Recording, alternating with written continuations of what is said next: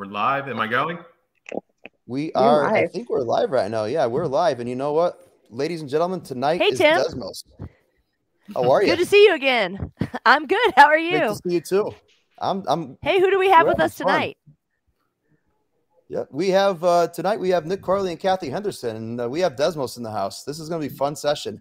Um, welcome everybody to another. Uh, the this is part four of a four-part series of help. I'm teaching math.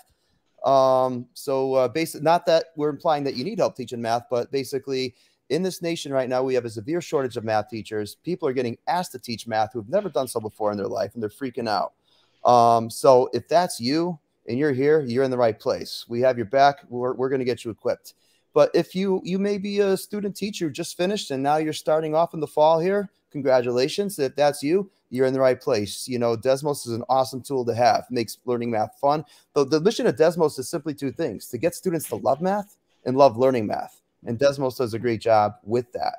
But even if you're a veteran teacher for 30 plus years and you know your colleagues using Desmos and you've always wanted to learn but have never had the time, tonight is uh, the session for you. So, my name is Tim Brzezinski. I'm honored to be here along with Deidre Baker from the Iowa Council of Teachers of Mathematics, who is sponsoring this free event. Um, before we introduce Nick and Kathy, Deidre, do you have any words from ICTM or should we get going? Uh, I ICTM was super excited to sponsor this. And uh, if you haven't had a chance to watch the Graspable Math, the Mathigon, or the GeoGebra YouTubes, you should definitely go back and do that. And all of those links will be posted on our website next week uh, to the YouTube channels to watch those replays. So, yeah, let's meet and get going.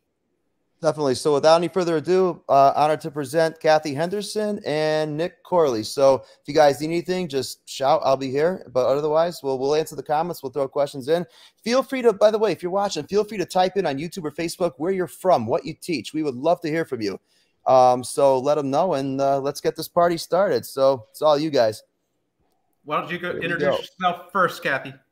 Oh, thank you so much. First off, I just want to thank you all for joining us tonight. I know this time of year can be quite hectic.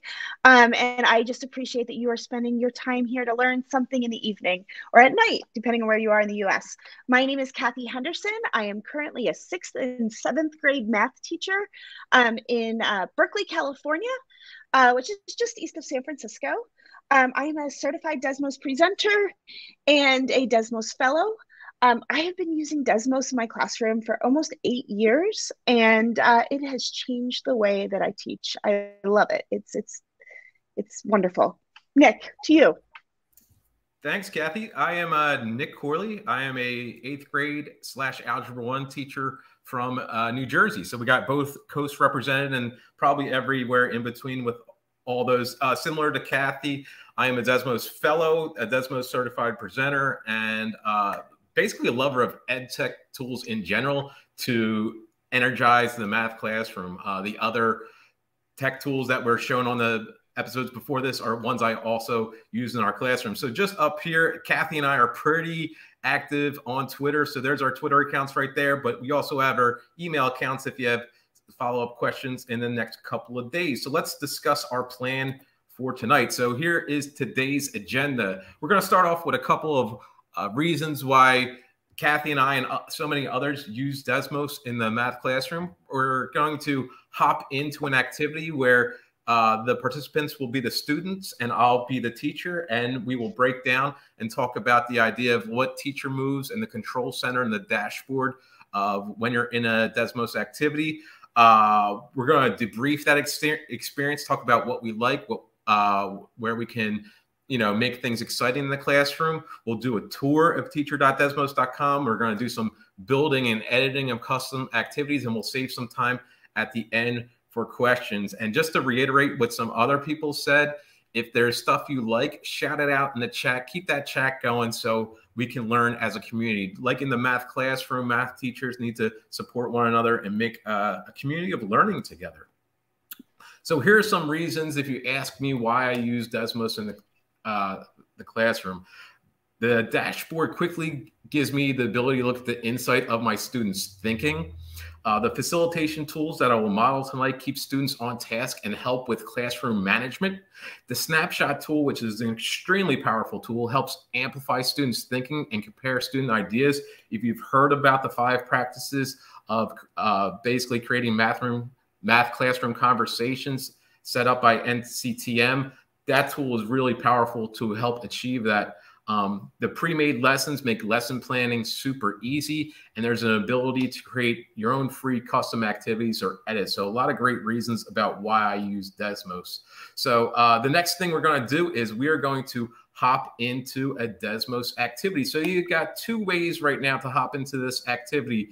You can type in student.desmos.com and it will ask for a code. The code is up there, or Tim should be dropping a link into the chat right now for you to hop into the Desmos activity tonight as a student, and I will be the teacher and we'll go through an activity together. So this is going to be about a half hour long. We're actually going to go through one full lesson. Then I'm going to kick it over to Kathy for some like fun, exciting screens that aren't necessarily a whole lesson, but show some of the interactivity of Desmos. See in the activity.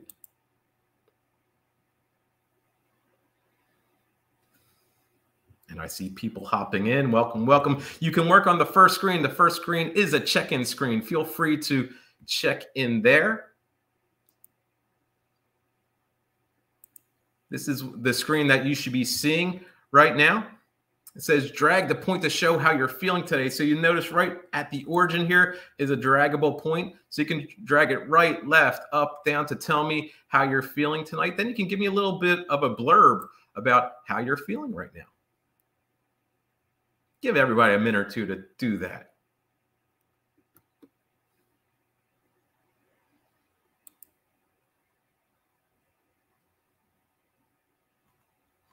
If you are signing in, if you sign in with an email, you will be able to go back into this activity at a later time. If you don't sign in with an email, you lose the ability to go back into this at a later time.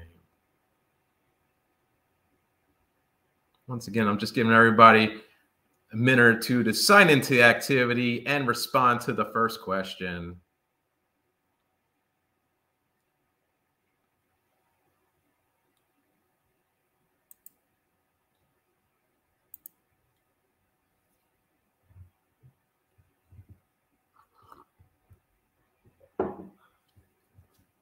So if I had to respond to this uh, first question right now, I would definitely say I'm leaning towards positive. I'm getting to work with some amazing math teachers and teachers in general tonight. I want to say I'm tired because it's nine o'clock. It's basically around my bedtime normally, but I'm going to go energetic because uh, getting to work with other people makes me pretty excited about what's going on here. So right now, if you sort of hop out and look at the StreamYard to see what's going on here, I'm going to show you what the main view is of the teacher dashboard. So this is like your command center when you're running a digital activity in Desmos. And I have a couple buttons turned on already. So the first thing I have on the left-hand side is the anonymize button. You probably see on your screen on the top of your screen, there's a name that is not your name. If I click that off, you can see your own name right now.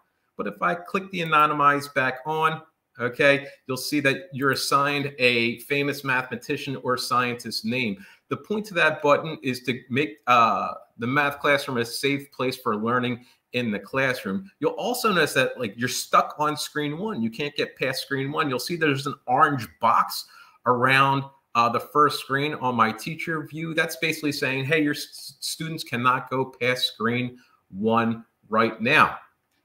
We'll talk about the pausing tool in a little bit. On the upper right-hand side are some views, like what I can see uh, from this. So right now I'm in student view. I basically get to interact with this slide like I'm a student. So next thing I'm going to do is hop over to teacher view on the upper right to get a little bit of a different perspective. So now I get to see all my students' uh, responses. Okay, so I get to see how some people drug it. Says it's been a long day, so, so I'm not so energetic. I appreciate the Honesty from New Hampshire, another East Coaster. Okay, starting to teach proofs and taught literal equations today. Hey, literal equations. If you didn't use graspable math for that, definitely think about it. Feeling good, awesome. Working so many things, but I'm tired. Yeah, I'm tired too.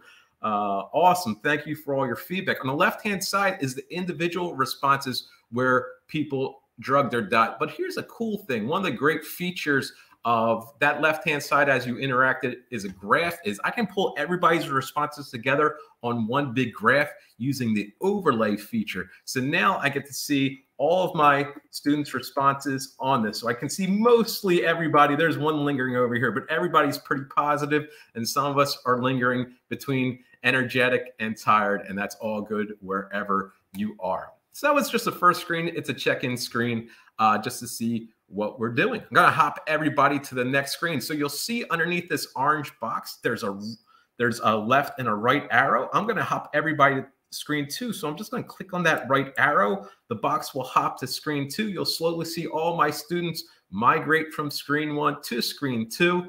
And I will hop into student view to debrief what basically is the idea here. So this activity that I'm going to be running is what's called pool borders problem. It's a, actually a really old problem that we're going to get to explore mathematically. I chose this because there's a lot of entry points from anywhere in the middle school level to the high school level. So your job is to buy the right amount of tiles or borders. That's these orangish or peachish tiles to go around a pool. That's we're basically setting the tone of the problem. We're going to be interacting and understanding the uh, what we're doing today using these tiles.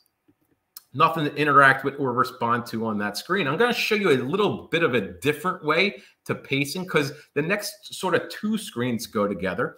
So I'm going to stop the pacing on screen two. And now I'm going to hit that pacing button on the upper left. And I'm going to say, hey, bring everybody to screens th three. That's where I'm going to stop. And four and restrict there. And now you can see there's an orange box around screens three and four. So my students have to uh, basically stay on those two screens. All right. So I'm not going to say much. Here's a problem that's presented to my students. A lot of the Desmos activities are problem-based learning. You can see the directions are on here. Okay, so we have a pool presented to us. It says, without counting them one by one, how many orange tiles uh, should you buy for the border of the Nuens three by three pool? Now, the great thing about this left-hand side is this is what's called a sketch tool. So you can draw stuff, you can draw lines, you can write text that says stuff like pool. There's a lot of uh, tools to interact with over here. This button allows you to do math, so you can put fractions like two thirds in. There's an eraser and all this stuff. So what I want you to do is I want you to try to use that sketch tool to help you explain without counting them one by one, how many tiles you would need to go around this three by three pool. Okay, and there's a similar question on screen four. So please, I'll give you a couple minutes to do things on screens three and four. Then I'll get to show you some of the cool stuff the teachers can do while you do that. Go.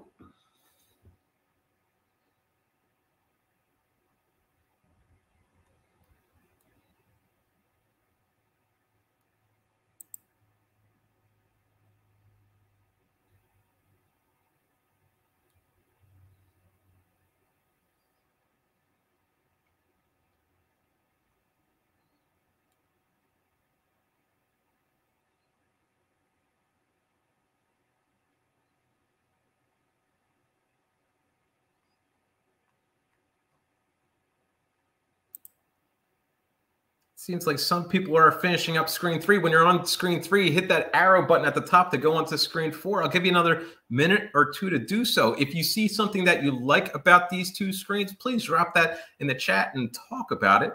And once again, another minute or two, we will look at these screens from a teacher's perspective to see what cool things uh, we can see from our students thinking.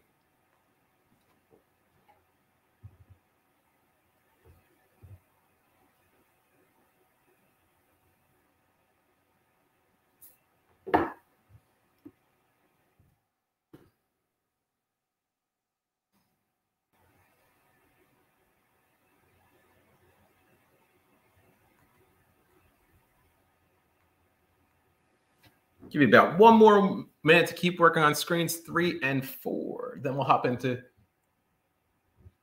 teacher view.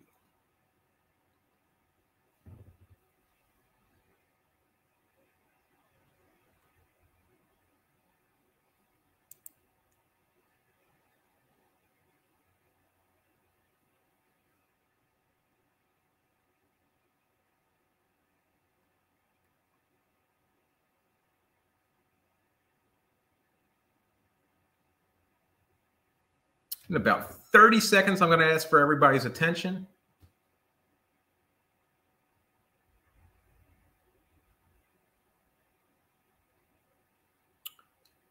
Fifteen, ten,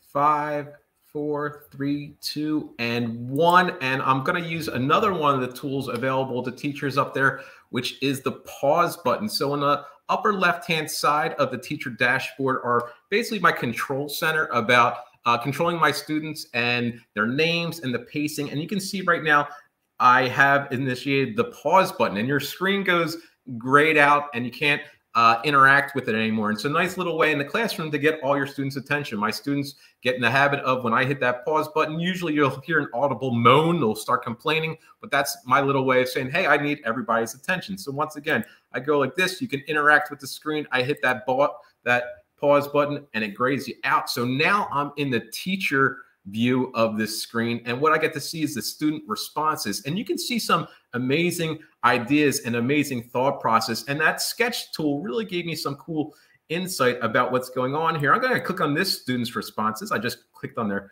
graph there.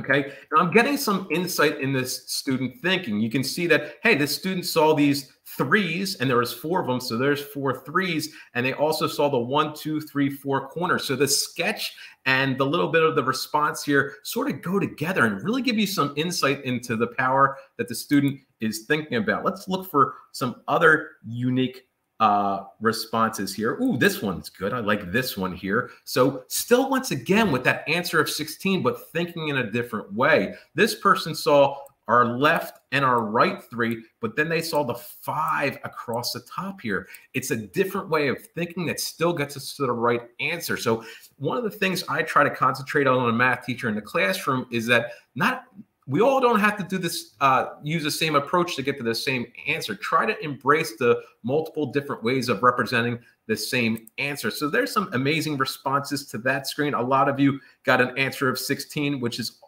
awesome and amazing. One of the things i want to show you when you use one of the desmos activities that are free and built into their site is on the bottom left here there's a couple tabs. One of them is sample responses and it actually tells you what the answer should be, which is 16, which is a nice little tool. We'll show you where that uh, can also be seen on the activity page. And then it gives you some teacher moves, some things to think about if you were uh, running a lesson. And it says highlight unique answers for the class. And that's the thing. We want to talk about answers that are right, wrong, and just get ways of uh, amplifying student thinking.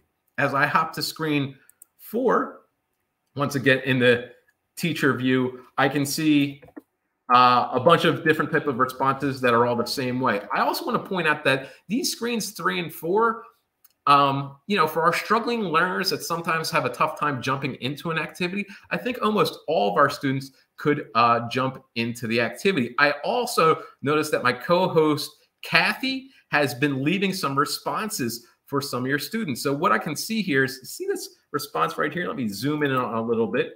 See how there's a green box on that? Okay, that green box means Kathy left a little feedback for the student. That feedback is up here. And she said, what a great solution. So if you are uh, Miriam Copine, there should be a box that sort of looks like a text message box on the top of your screen. And if you click on that, you should see that feedback. So let me model how I, I as a teacher can also leave that type of feedback. Uh, Kathy's done a great job and hit up a lot of people. So let me hop on this one here. And I can once again see some insight into the student thinking. They have an equation, they have some things. And here's the move right here is if I want to leave student feedback, I go to this uh, little icon that looks like a text message tool and I can send them a little message that says, great, great idea.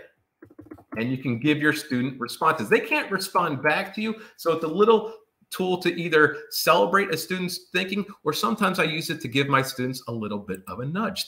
So far, so good. You guys are being an awesome, uh, your group is being amazing group of people. Let's go into the next couple of screens here. So I'm going to stop the pacing here, and now I'm going to pace on screens five through seven. And you're going to see that um, things have changed a little bit here. Let me go full screen. Let me zoom in a little bit here. So now we're changing things up hey, a little Nick, bit. Nick, is the lesson still is the lesson still paused? There's a definite possibility of that. Okay. Thanks, Tim. No and that is something I, I constantly do in my own classroom. That is not just a mistake I am doing tonight. It's a mistake I do in my classroom. It's very frequent that I am getting so engaged that I forget. I do it time. All the time. And you know what? I love how the kids always remind you, like, hey, I want to keep learning. Unpause me, unpause me. Yep. Thank you, Tim. So now we're changing things up a little bit. The left hand side is no longer a sketch screen. There's no tools available to sketch.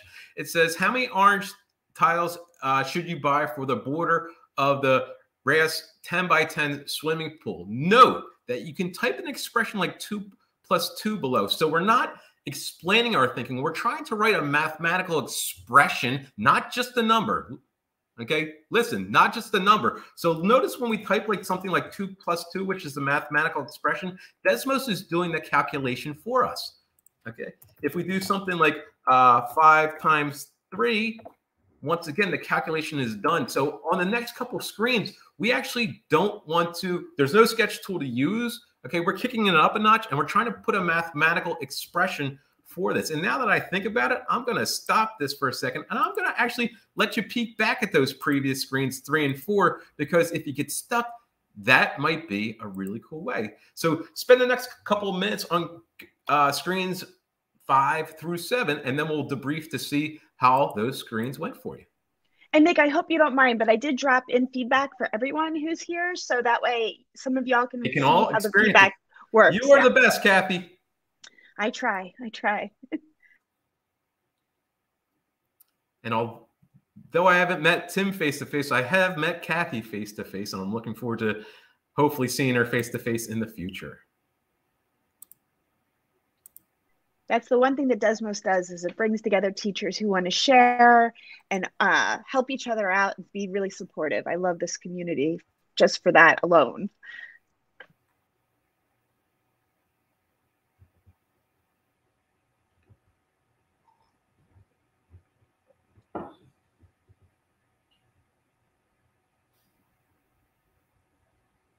Once again, hopefully you're on screens five, six, and seven, inputting mathematical expressions. Please, hopefully you're not putting numbers. Hopefully you're putting a mathematical expression.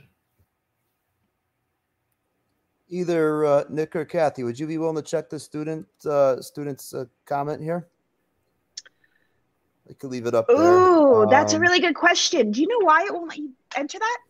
Because it's not an expression; it's an equation. So Desmos will flag right. you, and you may see that if you look at the teacher uh, view, you might see this little yield. I always call it the yield sign, but it's like this little exclamation point. It will give you a warning if a student puts in an equation instead of an expression. There it is. Exactly, Mary Miss. An expression or the result. Otherwise, Desmos is going to. Ooh, and I also know that that that person is trying to a little prematurely here use variables. Where some of you who have taught math or are thinking about teaching math probably want to start using variables. On these screens, you're writing mathematical expressions using only numbers, though, using only numbers. Give me another minute or two to work on those screens.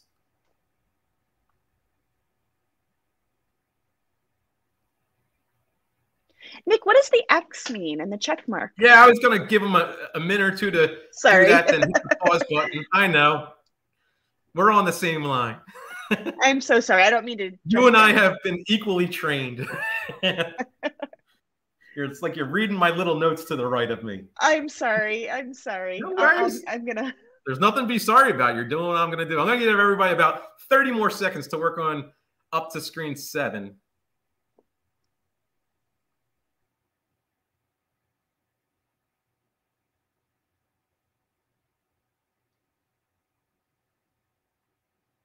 Countdown from 15, 10, 5, 4, 3, 2, and 1. I'm going to hit that pause button. So for tonight, when I hit that pause button, that means to all the participants that hey, can you stop interacting as a student for a while? Hop over to the StreamYard to see what I have something important to show you. So Kathy was extremely giddy to talk about the first couple screens. We either saw little dots, which means the students interacted with the screens, or that screen two was just the student saw it. There wasn't even something to interact there. But now in screens five, six, and seven, we're responding mathematically and Desmos can actually grade that expression and say, hey, your expression is right. And that's the people who have check marks.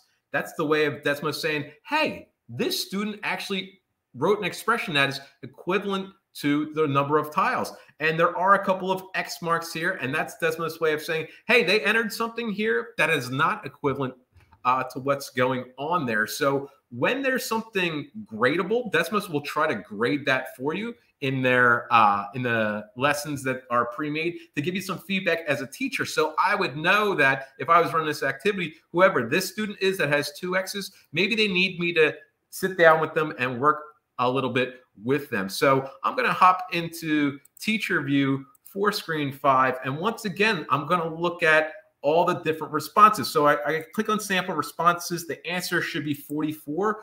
But the thing I notice is not everybody wrote 44 quite the same way. Hmm, it'd be really nice to compare all of these at the same time or a couple of these at the same time. So you, ooh, notice when I hover over this, I can check on this. I'm going to click on that. Ooh, they made a copy over there. Okay, okay, okay. Um, it's a little bit different. I like that. Uh, ooh, Ooh. So I just clicked on four responses that I liked. And notice there's a little, they're all here together and it says present four snapshots. So look what happens when I click this button. Ooh. They're all together for me to present. So I'm now looking at multiple representations of the same idea. And now I can give the screen a little title like, how are they the same? How are they different?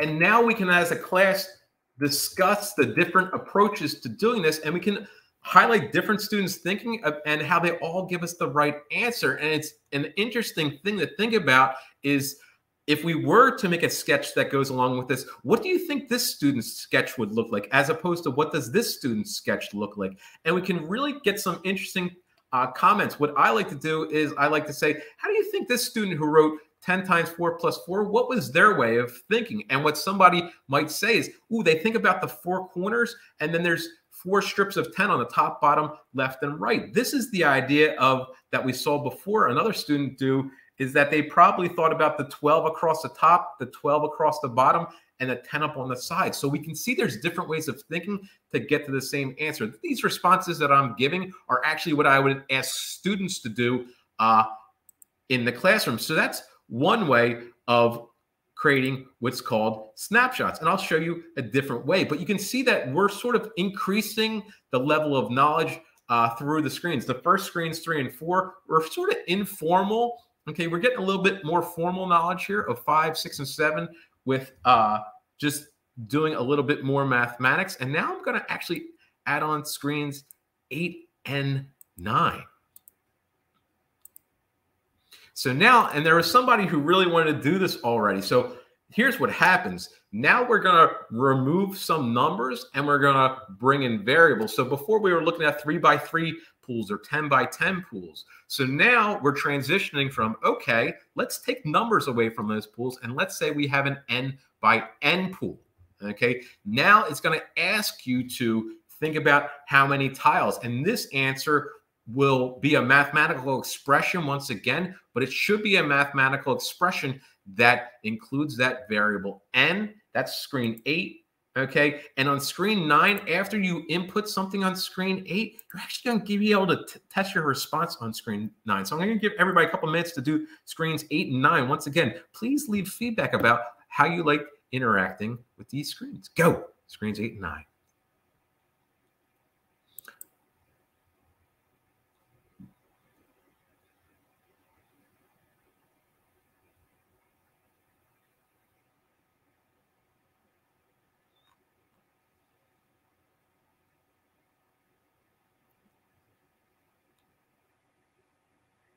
Oop. There's the pause. Screen's eight and nine.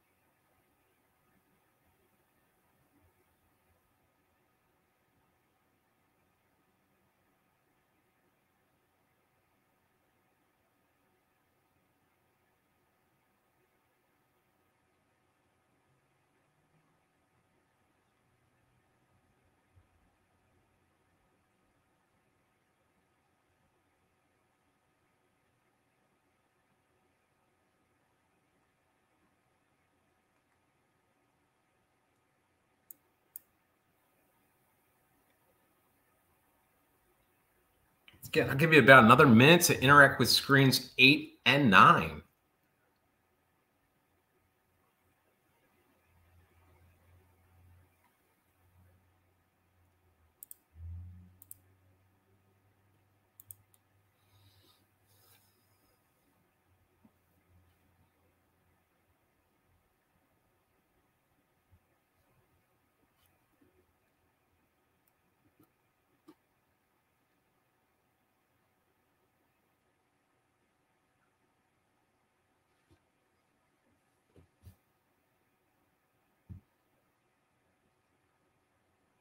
About another 30 seconds to work on screens eight and nine. Once again, if you see something cool that you like, drop it in on the chat. Talk about it, learn as a community.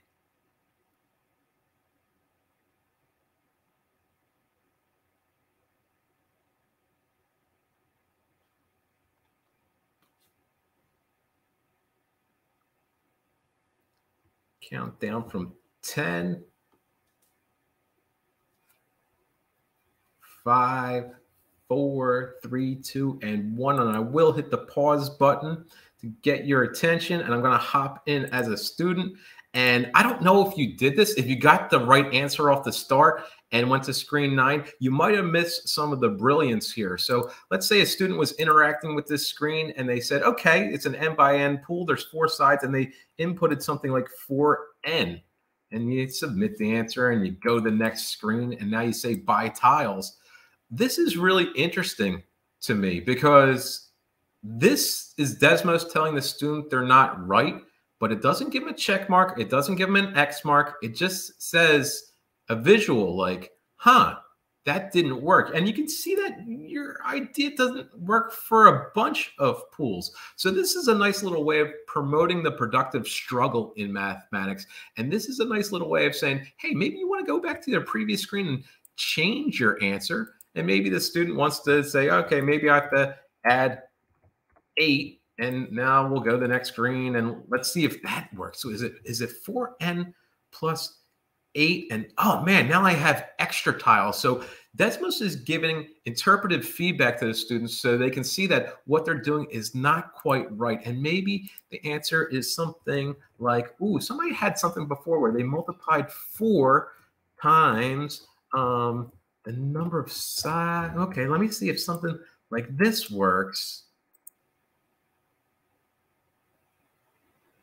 Ah, oh, that does work. Ha, that does work. And this is not the only expression that works. So here's their expression. So they're giving the students feedback, but in a way that promotes the learning. It's not just you're right and you're wrong. It's a little visual way to say maybe you need some more, maybe you need some less. So it's really helping the students through this. I'm going to show you another way to create those uh, snapshots uh, in a little different way. So I'm going to go from summary view and I'm going to click on the first student's response. And oh, I sort of like that. So you can see now when I'm in the student responses, like this one, see how there's a little camera there? I can take a picture of that. It says snapshot capture, and I'll show you where it goes. So I'm going to use this button in the upper left-hand side here to scroll through some other students' work. Hey, that one looks a little bit different. Let me take a picture of that one. That's the same. Sort of the same. A lot of people put the same. That's the same. I'm looking for answers that are different. Okay, that was sort of it. And let me see if I can grab one more. Oh, I like that one. That was sort of what I did. So I grabbed four students' responses by going one by one from the summary view, using the arrow to go through the students. And I took four pictures. So the dilemma is where did those pictures go? And now if I go to the snapshot, you can see the different views up here. It says snapshots four. I think that's where the pictures went. They're up here. So now in a little bit of a different way, I can grab these four responses and put them all on the same slide. I can use this uh, present album button to pop out the slide. And similar now, I can probably ask the same question. How are, excuse my typing, how are they the same slash different. And that's a great math math. There's a great conversation right there on that screen. That's a great conversation that I love to have with my students when I run this activity. A lot of cool stuff. I usually have students come up to, I have a smart board and they start drawing things on the board. And I really let my students drive the conversation about how these expressions might be the same or different. So it's a different way to use that snapshot tool there. Once again, the snapshot tool is just another way of amplifying student responses, showing that there's multiple techniques of accomplishing uh, the same task. Okay, we are almost done this activity, and now we're going to go take this. I'm going to remember it on pause. There we go. I'm going to uh, bring us, allow us to go to screen 10, which is a pretty formal here. And this is actually asking the students to make a pretty big connection here. So there's an error here. Here are Sam's shopping list for the tiles for five different families' pools. One of them is incorrect. Can you look at these and figure out which one uh, is incorrect? And this is really just understanding the structure of mathematics and really relying heavily on that previous uh, slide and how we wrote things there. So I'll give you a minute or two to think about that, and then we'll respond to that. Hey, Nick, would you be able to respond to this question as people are working? It's uh, it says the activity is public, so can I copy it to my collections? Ooh, you can. I will show you um, after Kathy has. You can see I have some. There, we have some more cool slides here. When Kathy does these slides, we'll take a break around the hour mark. When we come back from the break, I'm going to do a tour of teacher.desmos.com. And the first spot I'm going to hop into is this pool border uh, problem, the specific one. Tim, you actually have the link to this whole big activity that we're doing today. You can feel free to drop that in the chat, but I will go specifically to the pool border problem a little bit later. Okay.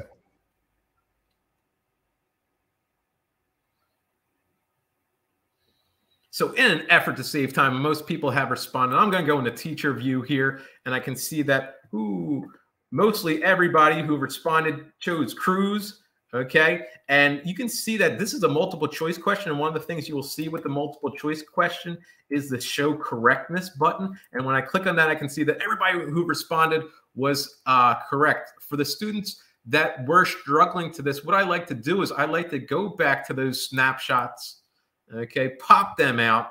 And I really like to concentrate on this uh, snapshot right here. Okay, this one where, hey, okay, we're doing four times some quantity, which means the amount of tiles that we buy is always going to be a multiple of four.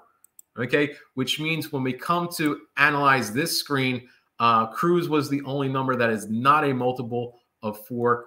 That one can't be right. One more uh, screen is on this activity. Uh, once again, if I go into student view here on screen 11, it says in this activity, we progress from like expressions with just numbers to expressions with variables. And when is each kind of expression for uh, more valuable than the other ones? And this is just a really great expression because um, you can see that the design of this lesson is really to understand like the power of variables and the power of how you, we write expressions and how they can uh, let us solve a lot of problems. Uh, interesting thing is if we go into sample responses here, and I'll zoom in a little bit so this is a little bit bigger for you. Sample responses for students as variables are really effective when we have lots of pools to do this with. Okay, coming up with an expression with variables once and use it a lot. A lot of students are really hesitant when they start incorporating variables into mathematics, and this activity is a really powerful one that really helps us see like the power of variables and how it can help us solve problems. I am going to turn off pacing for a second. I am going to stop pacing and bring everybody to screen 12 real quick so we can debrief this activity together real quick. So if everybody would please respond to this screen for me. So what we just did uh, was basically a full Desmos activity. Uh, we've looked at a full activity and just what did you notice about? Below, mention something that you liked about the design of the activity or how the teacher dashboard helped facilitate the lesson. If everybody could do that, I'll share some of those responses and then I will kick it over to Kathy. So I'll give everybody a minute or so to respond to that prompt. Go.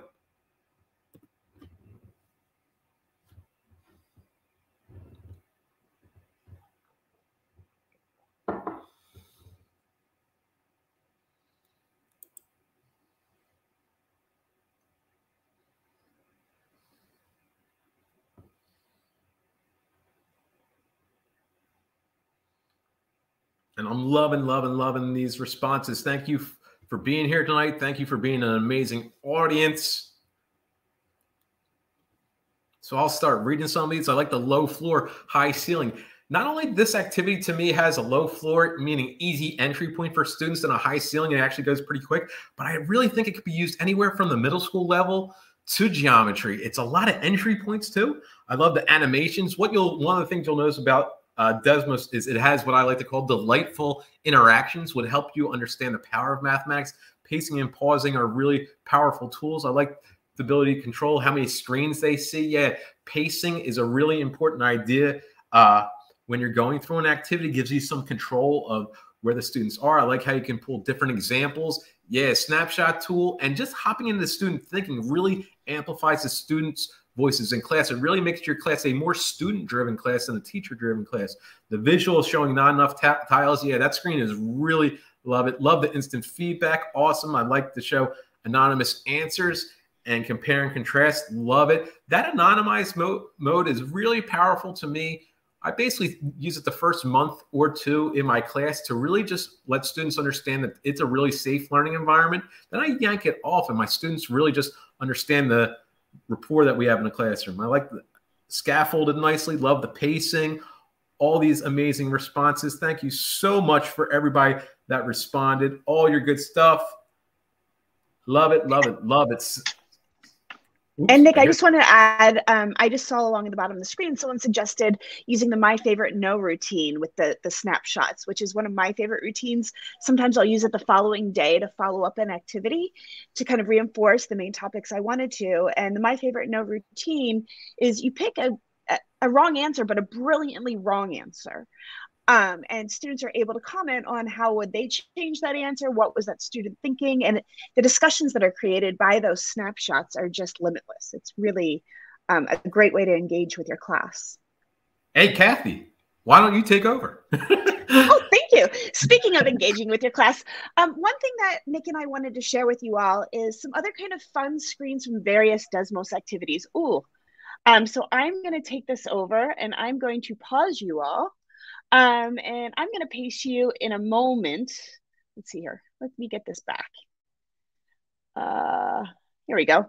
Um, in a moment, I'm going to turn you loose on some other screens. But before I do, I just wanted to say that Desmos has a lot of created materials that you don't need to create on your own. They're there. You can use them tomorrow in your classroom. And I appreciate that as a teacher who's busy, who doesn't have time to reinvent the wheel, and to have activities that have been through a vetted group of curriculum instructors, of brilliant educators.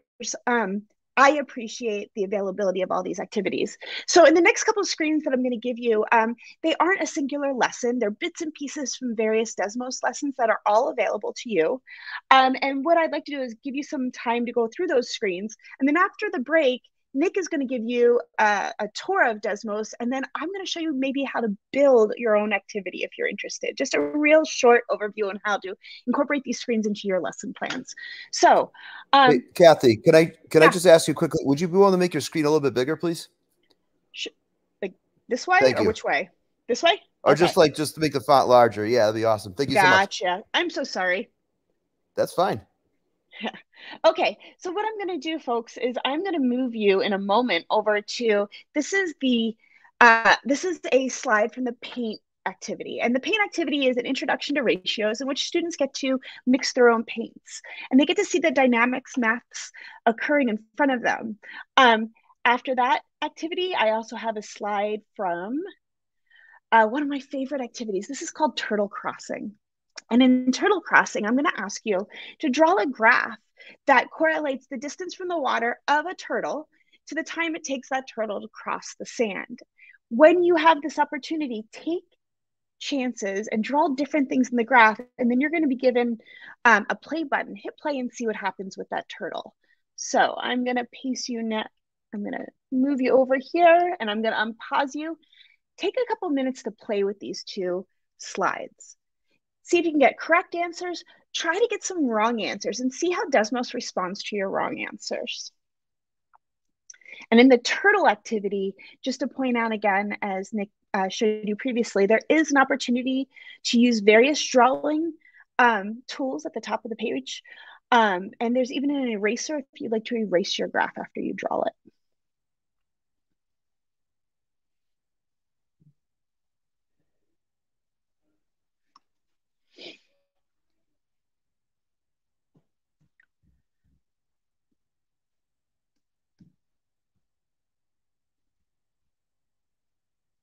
Okay, and while you are working on these, I get to look at your brilliant answers. Oh, I'm seeing some really interesting graphs that y'all are drawing for this turtle. I wonder what happens when I draw a really squiggly graph.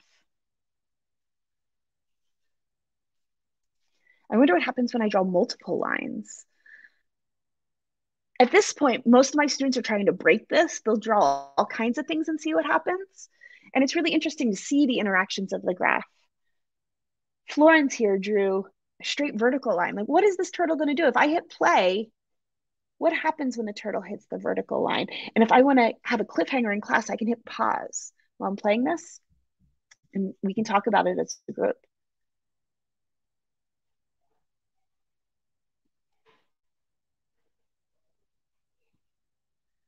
No one's brave enough to do a loop-de-loop. -loop. There's always one student that always has a loop-de-loop -loop here. Oh, there we go. We've got a double line.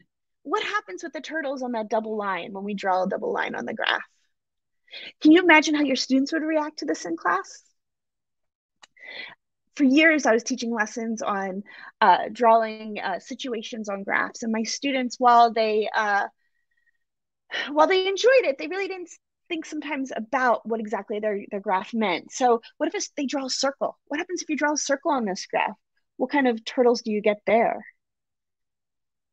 Oh, goodness. Let's see here. I love this one. Look at all these fun lines. Oh, wait a second. You have more than one turtle. What exactly does that mean in mathematics? I love it. So great.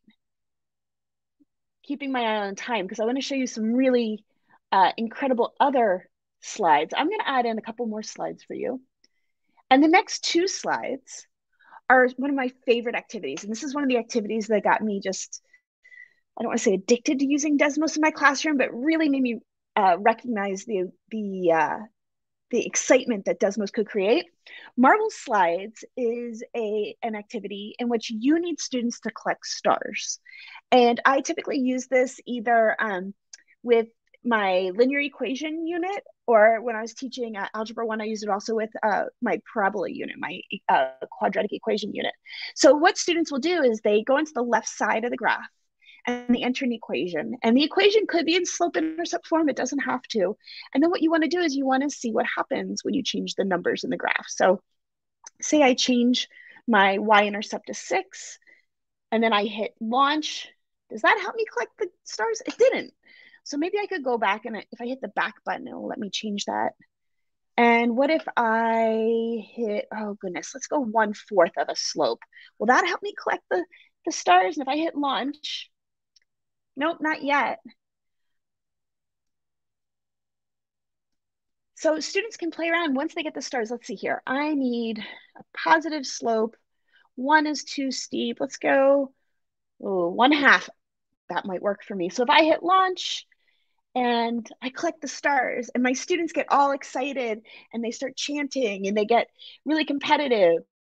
Um, you'll notice that on slide 16, which a couple of you have already moved over to, there's another opportunity to collect some stars. And this one might be a little bit more interesting in your solutions. I have used this with algebra students, with algebra 2 students, um, even some of my seventh graders who are learning um, the basics of slope. We played around with this and they really enjoyed having these challenges. Okay, couple, let me add in one more. I know there's so many different slides I want to show you all and uh, I only have so much time. I don't know if any of you all use the routine, which one doesn't belong. Um, my students love this routine. Here are four different options. And what I ask my students is to pick one option. And what I love about Desmos is when they pick that option, they have to explain their thinking. So that's another fun slide we can add in there. Let me see where y'all are. Nice. one of the things that I always uh, that I have always struggled with as a teacher is doing card sorts in my class with all those thousands of pieces of paper, and I always wind up with one group that's missing a card or some card that I find on the floor randomly at the end of the day. Well, in slide 18, Desmos has a card sort for you. And I love this card sort. Um, it's from a unit in seventh grade where students are comparing decimals, fractions, percents, and area models. And uh, Desmos prompts them, can you find all the matches to match each decimal with its fraction, percent, and area model. So Desmos can do card sorts, and you don't have to worry then about all those little pieces of paper that get lost, which is one of my pet peeves when I used to use paper card sorts all the time. Oh, let's see. How am I doing on time? I've got a couple more that I want to show you, and I'm just going to turn you loose on. The next three slides, I have a editable, editable fraction task asking students to quarter this shape. Um, and then I ask students often to please quarter this shape in a way that you don't think any other student would in this classroom. It's a great warm up for class. It's a great introduction to fractions. And it's also a great challenge for my students who need that little extra challenge because I ask them to get the most creative with this. Find a method that I've never seen before. And so many, so many of my students love that challenge. Desmos also has screens that have um, your your hanger balance problems, which I love. Um, and a lot of my pre-algebra students appreciate these. Before we get into equations, I introduce um, them to the hangers, the hanger balances. Okay, and then the last but not least is one of my favorites. When I get into linear inequalities in Algebra 1, um, there is a screen where you can have students try to collect as many points as possible. You have discussions about, well, some points are blue and some points are red, and what does that mean? Um, so that's another fun kind of activity. And later on, when I have a chance to show you how to build an activity, I can show you where to find these remix screens that you can add to your own activities, or Desmos already has some of the activities built for you. So I am looking at our time, and I believe, and Nick correct me if I'm wrong. This is we're going to give everyone a five minute break right about now. Uh, yeah, we can get. Yeah, now's not a bad time.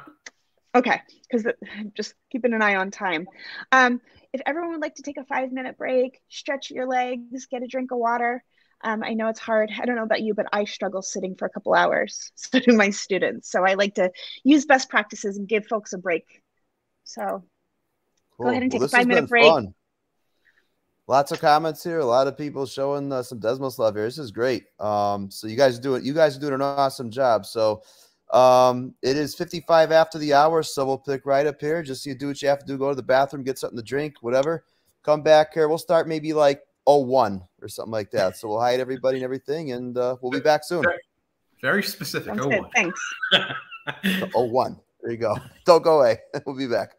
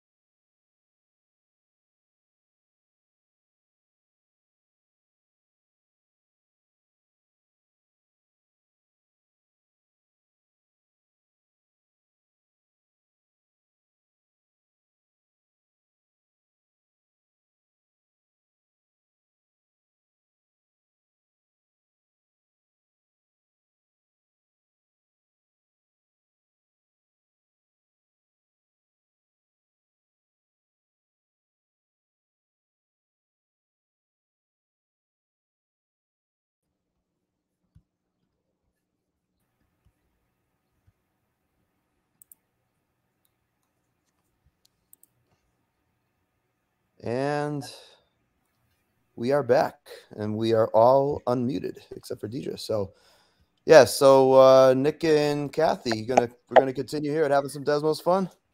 Yeah, and this time yes. yes. we're still we are still live. Short. Cool. I'm not going right. to cut Kathy short this time. I apologize to Kathy for giving her less time than we planned. So uh, the next part of the presentation is to see like what resources are available to teachers uh, at for, for Desmos activities. So right now I am at teacher.desmos.com. I'm pretty sure you can find that yourself, but just to be safe, Tim will drop it in the chat there. And this is the main landing page for all the Desmos activities. Now, I have something a little bit cool at the top of mine that I'll talk about a little bit. I have the rights to see uh, the Desmos curriculum. And for those of you that are hanging out tonight, I have a little bit of a, if you want to use it, thank you towards the end that we can talk about. But this is uh, basically the main landing page for all the Desmos activities. So the first thing I want to do, because some people asked about it, was like, hey, Nick, that pool borders problem, that was pretty cool. So how can I find that activity? Because the one Tim shared was the pool borders plus Kathy stuff. So if I type in pool. Hey, Nick, by the way, if I don't have a teachers.desmos.com um, account, can I sign in with my school email and get one? Yes. Good point. Sorry. Lots of different ways. And that's what I would recommend uh, doing is using your school address to create an account. Uh, it'll take a, a, plethora of different email addresses to make an account. Yes, you do want to make an account so you can save all that awesome information about that.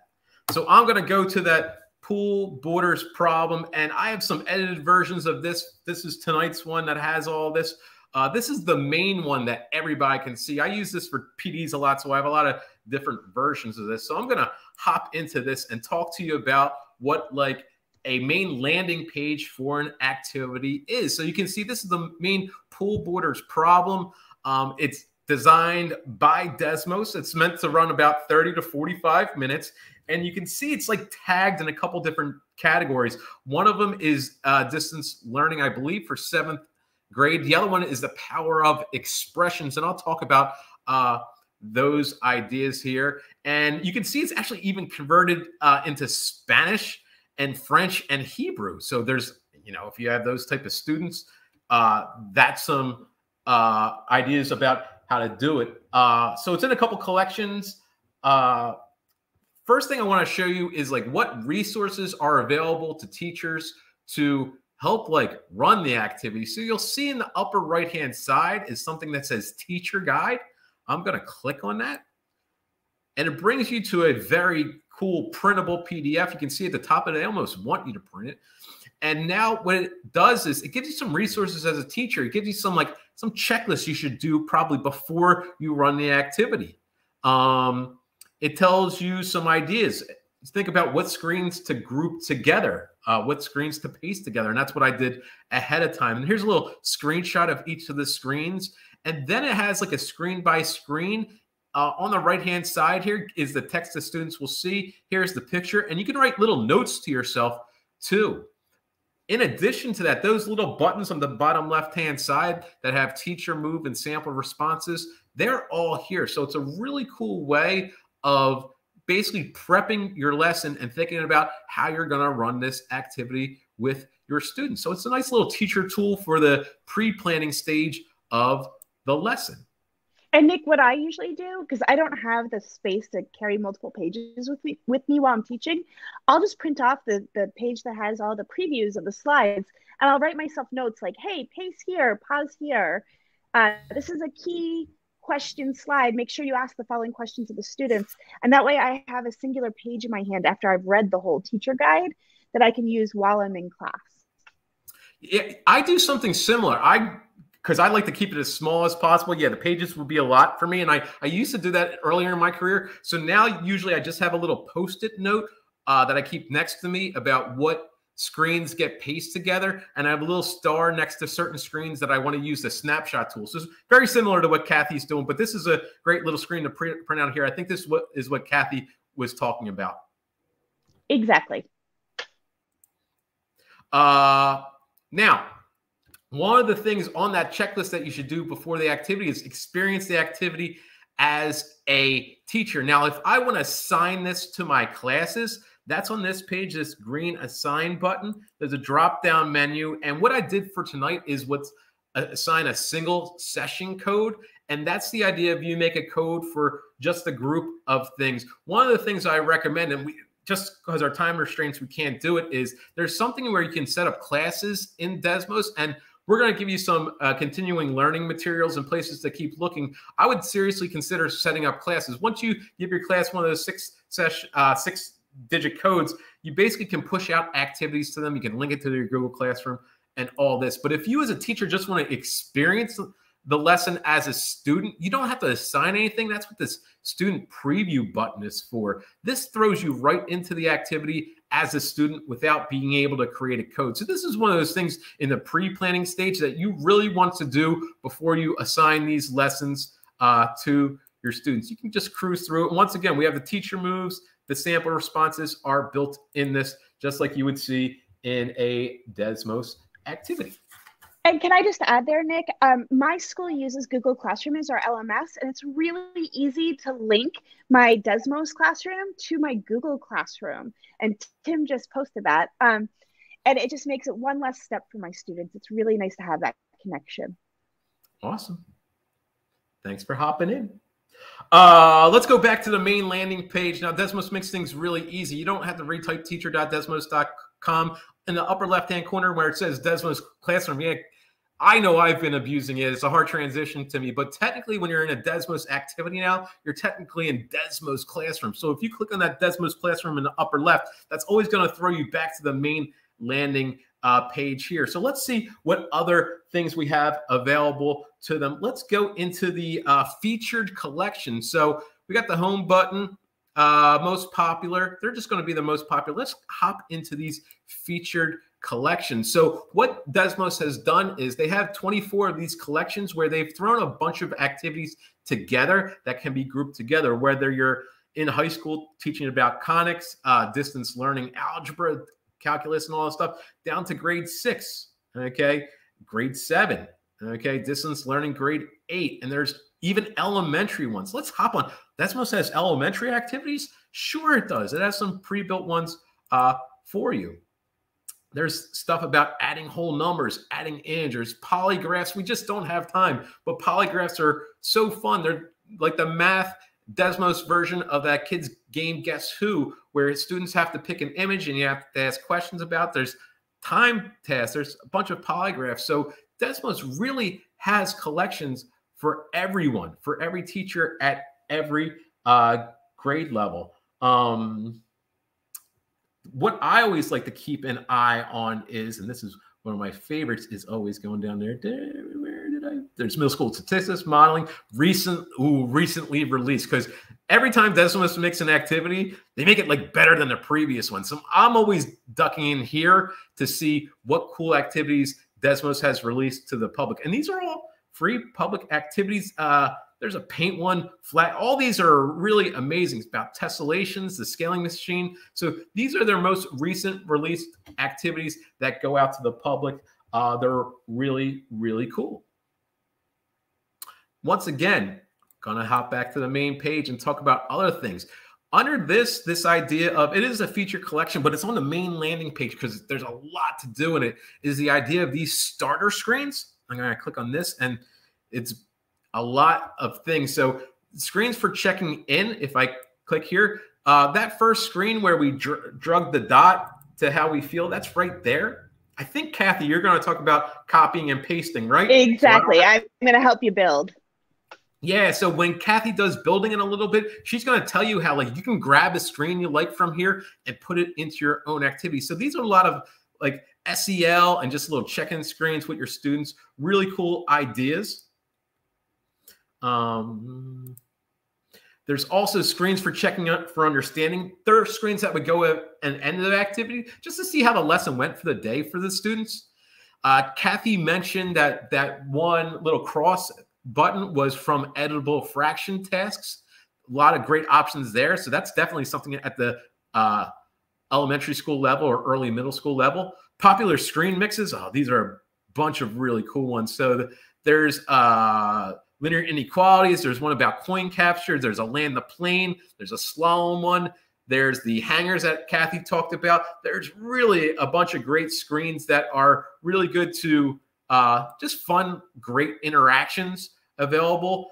Uh, this whiteboard one is a really cool way to basically like give students a digital whiteboard and it's a really cool way of like asking your students to you could grab like the graph whiteboard one and i'll literally just keep on over and over again give my students uh, verbal prompts on this one screen and say hey sketch a line that's increasing sketch a line that's decreasing sketch a line that's vertical. And as they do each one they'll just you know if i said increasing they do something like this.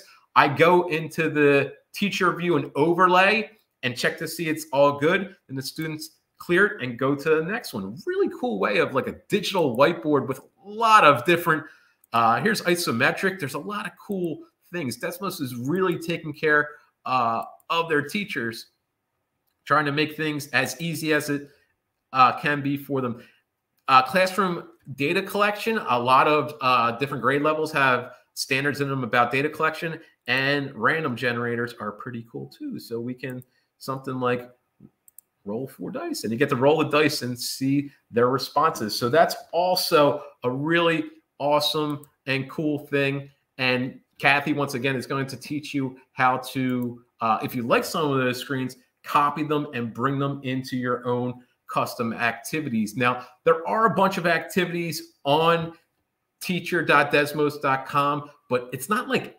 every possible activity that's out there. There's a lot of teachers out in the wild who are creating Desmos activities that maybe if you're not ready to build your own yet, but you're ready to like sort of start looking for them, you can do. So I'm going to go into Google and I'm going to do something like teacher.desmos. And you can see dot .com and look at fractions. And you can see that once again, do a Google search. I recommend starting with teacher.desmos.com and the topic you're looking for, and you can find stuff. And this one, here's Dr. Milou, who who I actually know, who teaches at Rowan University. He actually collected 51 different Desmos activities and put them in a big collection. So if you're teaching about fractions, Dr. Milou has like hooked you up. And Jen, she's a Desmos fellow, created that activity. Th- that's a Desmos created one. Hey, Kendra, she's a Desmos fellow. She created that one.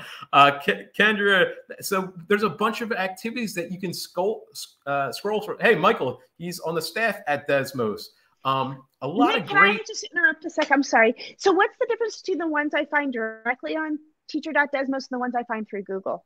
So, so the one on teacher.desmos.com are only two types of activities that I consider, and Kathy, you can give some input into this. One is activities that are created by Desmos themselves, or two, activities that Desmos saw other people create that they put the nice finishing touches on. So they've been vetted by the Desmos team and put on there. That doesn't mean they're the only ones, but if you don't find my first check is I always go to uh, teacher.desmos.com. Use those. You can use their search tool up here to find certain topics. If that doesn't work, my second option is to do a Google search.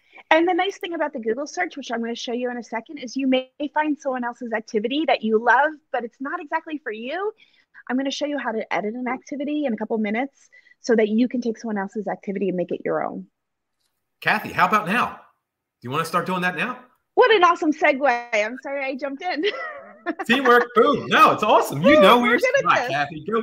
It's all you. Uh, so um, what I'd like to do is show you all a couple of different ways of going about either editing or creating a Desmos activity. Um, and one way of going about this, the first way I should say, is going into Desmos and finding an activity that Desmos has created.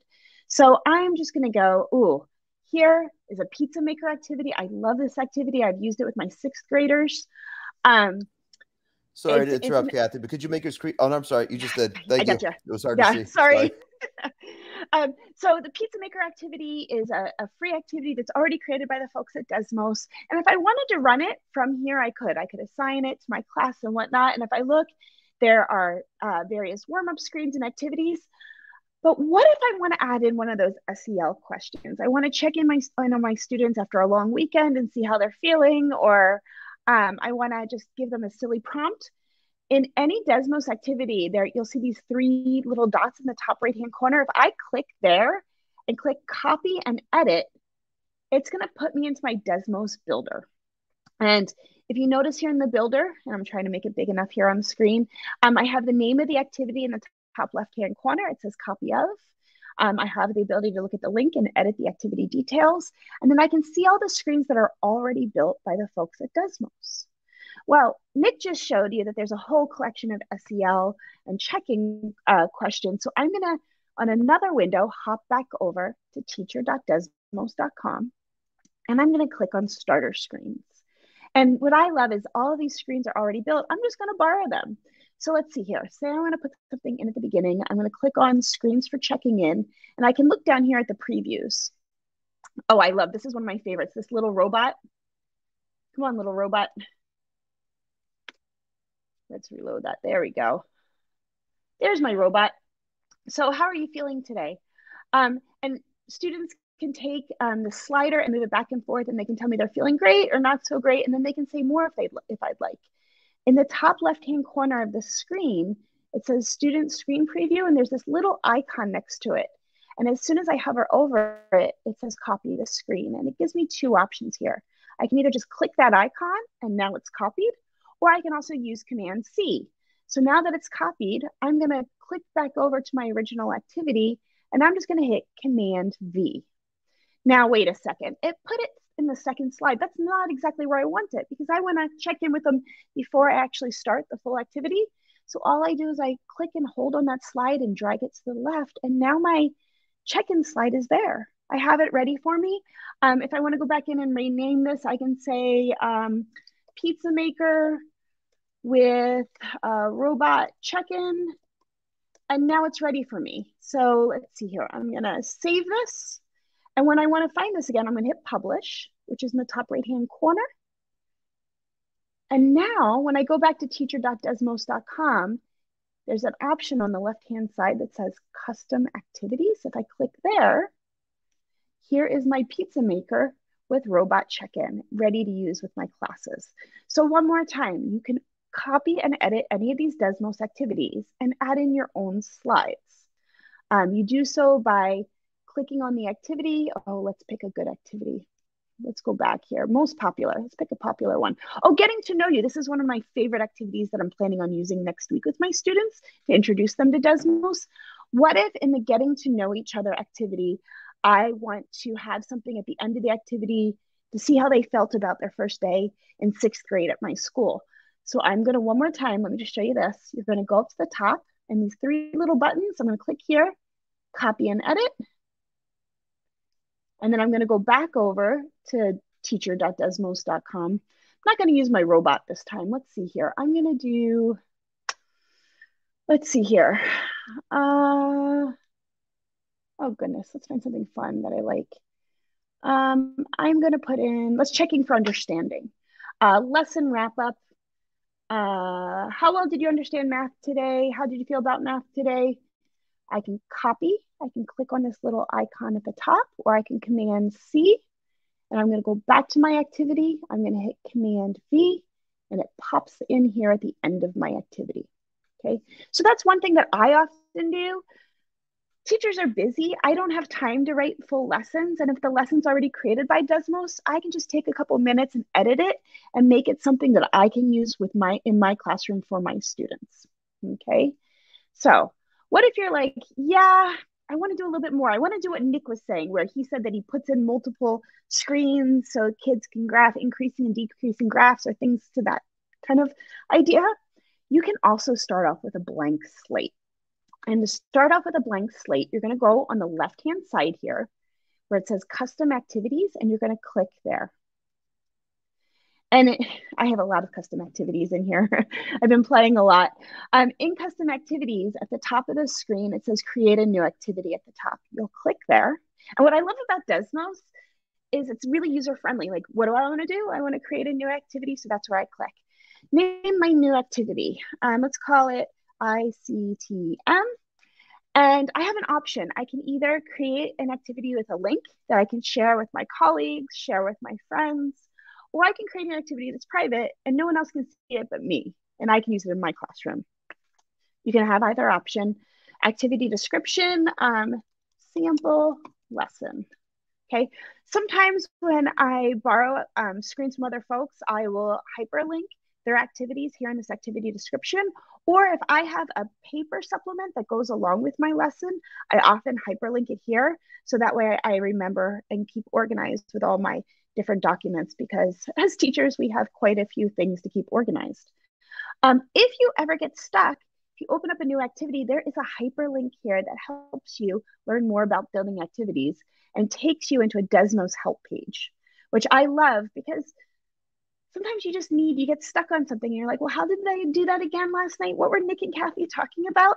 You can find it right here. So I'm going to go back to my activity and it bumped me out of there. So I'm going to create a new activity, ICTM uh, lesson, uh, sample lesson. And I'm going to create a new activity. This can be public. It's, it's not going to be anything that anyone's going to really want to borrow or not, but it's going to be something exciting for me. So here is Desmos's building page. And you're going to notice that in front of you is blank. And it says choose an item on the left to add to the screen. Along the top of the page, you're going to notice that I'm going to have a slide preview. Okay, and once I start building slides, I'll be able to see them at the top of my screen.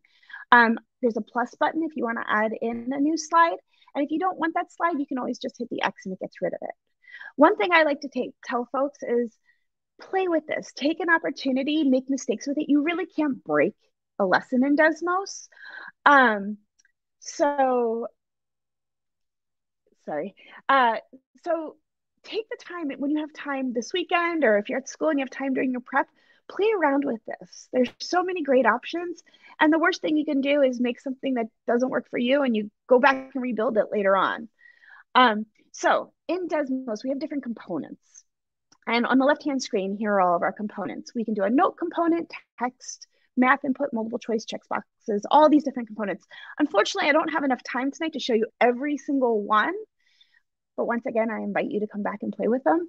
The other thing you can do is you can also build your own teacher tips. Those um, sample responses that Nick showed you on the bottom of the screen, uh, you can actually input your own teacher tips into these activities.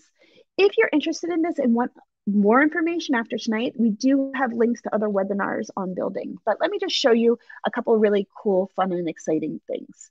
Um, on the left-hand side, you're going to notice that these top 12 components um, give you different options here. And if I click on them, they can pop up on the screen and I can always delete them if I choose not to use those. But all those top 12 components are not full screen. They're part of the screen. They won't show up. Um, like if I click this graph here, it shows up on part of the screen and then I could actually put a note with it, okay? Um, and they share the screen together on my slide. There's also options that are full screen. So on the bottom down here, there's a graphing calculator, the marble slides, which I quickly introduced to you earlier, card sorts, a polygraph, which I wish we had time for because it's one of my students' favorite activities, and a polypad, and this is a new thing. I don't know if y'all had a chance to sit in Mathigon's uh, polypad webinar the other night, but polypad is now integrated in Desmos. And let me just click on it and show you what happens. If I click here, I can see I have a polypad screen in front of me. And I have options to all of these incredible manipulatives. Um, thinking about my sixth graders, we're going to be talking at the beginning of the year about fractions. So I could set things up like a fraction bar on the screen. I could have them build different um, fractions out of different fraction bars. Um, and if I want to set it up when I'm building it, if it's on the screen here and I hit preview, it's going to be on the screen when my students start working. So we have these incredible options. Um, and I haven't even had a chance to play with all of the different aspects of Polypad. I need to take the time to do that. Um, other types of screens that you might want to include in your activities. If I hit the plus sign, um, maybe I want to create an ordered list of things. Um, I'm going to be talking about integers this year with both my sixth and seventh graders. So what if I ask them to put the following integers in order from least to greatest. And the order uh, the from is going to be least, and we're going to take them to greatest. And what if I put in a couple numbers here, like negative 1, 10, oh goodness, negative 1,200. And if I hit preview, look what happens. It puts them Hey, Kathy, could you could you enlarge the screen again, please? That perfect. There you go. Sorry about that. If I hit um sorry, I'm used to Zoom and aspect ratios. I'm sorry about that. If I hit uh, preview, I now have this opportunity to have these different numbers and my students can reorder these. And I can put them in least to greatest order on the screen, which is such a great idea, especially when I know I get into fractions and decimals and I want students to compare them. I can create a real quick activity where they can order the different numbers. Um, other fun things that they can create. Um, a sketch. What if I decide, oh, I won't put it on that one. Let's do this. I'm going to make it a new screen, a sketch.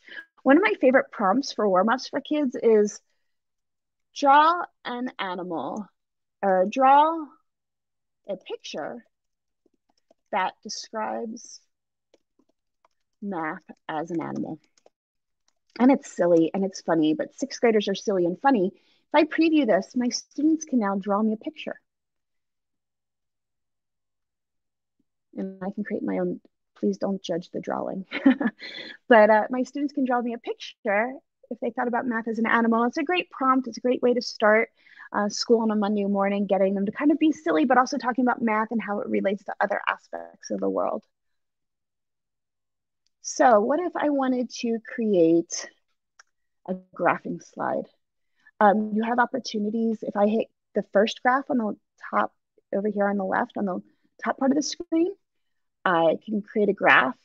And if I click edit graph, I can throw a graph in there. Oh, let's do y equals x minus 1. And if I go back over here and hit done, and then I hit preview, there's my graph. So what can I ask students about this? Well, maybe I want to ask students, what is the slope of this line? But wait a second, if I only put the graph there, where are they going to input their answer? Well, the nice thing about Desmos is it's just another button. I can just input, I can click on math input on the left-hand side.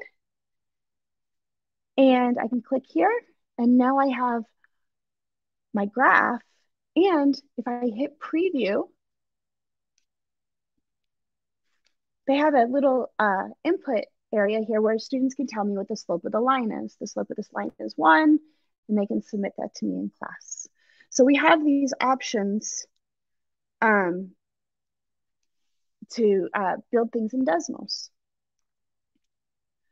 Let's see, what else do you want to build? Let's build. Nick, what are one of your favorite things? Oh, you had mentioned the um, drawing slides, correct? Hmm? You had mentioned those graphs where you like your students to draw. So if we go to teacher.desmos.com, we can actually find all those whiteboards, right? Yes. So one of my big ones is to just grab the coordinate plane one oh, okay. and or you could actually, Kathy, why don't you show them how you can make the background a coordinate plane instead of copying and pasting? Okay, so what if we did this with the draw component? Let's do that. Yeah, just Here, here's my just, coordinate plane. And then what I can do is I actually can create it with a sketch component in it. And I did that by clicking the top three dots up here on the right-hand side. And I clicked it, it gave me an option for sketch. So now I have an option. I can give students the option of using pencils or lines, math or text. And if I now preview this, let me get rid of my question because now my question's irrelevant, isn't it? If I preview this, now my students just have a blank screen that they can write on. Like Nick was saying, draw an increasing graph. So they can draw their increasing graph, draw a decreasing graph, and so on and so forth. So that's another option. So what I'm going to ask y'all, take a moment and go into teacher.desmos.com and see if you can create something. Either find an activity that's already built and add your own slide into it, or create something from a blank slate. Take a minute and try that. So one more time, if you go into your activities, you can edit them. You just pick any activity, you go to the top screen and click on the three dots, and you can hit copy and edit. Or you can try to, I'm going to put Kathy and I on the spot because I'm ready to go too. If you want to challenge us to build something, uh, feel mm. free to be like, hey, oh, no. hey, Nick. Oh, see, I love this. I like being challenged. We might. Oh, you want a challenge? not, not from you, Tim. Oh, come on. Somebody mute Tim. Tim's got the mute button. Um, there, uh, but there's really there's a lot of easy uh, builds. So take a couple minutes. Um, I'm ready to go. If you want to challenge us, uh, feel free. Oh goodness. The other thing I also like using um, the geometry tools, having students create uh, geometry constructions in Desmos. Um, the card sorts. Oh, do you build your own card sorts, Nick? Do you like building your card sorts? Um, sometimes I do. Yeah. So one of my favorite builds for card sorts as an algebra one teacher is to uh, you know if i'm doing uh, parabolas and quadratics is to have a card with an equation have a card mm-hmm. with how that's a visual uh, using words to say how that's uh, visual transformation and then the actual graph i love it so if i click on card sort look what happens on my left hand side here um, so I have a choice. I can either go math or text card, an image card, or a graph card. So what if I did a graph card and I wanted to type in y equals negative x? And what that does is it gives me a, a graph of that equation. If I hit done, I now have a graph card here on my screen that has that graph. And then what I can do also is I can pick the matching equation. I can type in a math text of let's do here. Let's one thing I should point out, and I don't I know that you pointed it out on a graph, but also in a lot of the inputs, you have this option for math types, typing math. And if I click there, it allows me to type things like fractions, which for this graph, it doesn't have a fractional uh, slope, but what if I did something like one half? I have the option of typing one half with it looking a little bit more um, mathy, is that a word? Mathy. Than it would yep, if it was not. um, so maybe I'm going to throw in another, let's throw in another card here that was for that graph, which is y equals negative x. Um, I'm going to throw in another graph card of, what was that? Why don't you do the, equals... yeah, do that one. And then why don't you do, put one as increasing and one as decreasing. Ooh. With the words increasing and decreasing. You got it.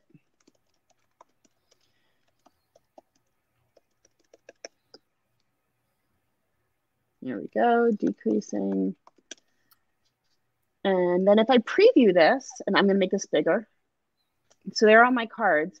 If I preview this, I can see my card sort. And there are all my cards in front of me, okay?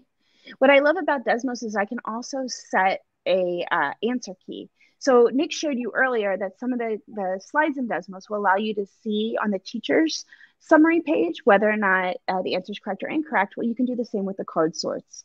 So what if I go in here, I'm gonna create an answer key. And all I did there was I go back into the slide where I'm building.